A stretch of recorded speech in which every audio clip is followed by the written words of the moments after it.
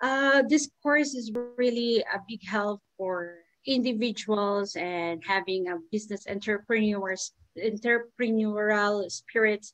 Uh, this is a very good for everybody, especially now that this is a pandemic times. So you can learn a lot of uh, skills and knowledge. And of course, my coach at this time uh, in my in my front of my computer is very helpful.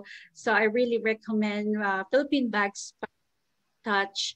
Uh, this is a very uh, effective tools and they have a lots of complete uh, you know tools that you need to equip before you started your own uh, business or your own uh, hobbies.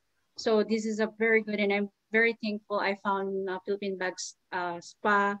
Because um, the thing is they have a complete and very knowledgeable you know uh, very knowledgeable uh, equipment. And the coach is very yeah i'm very thankful that's all I, I see.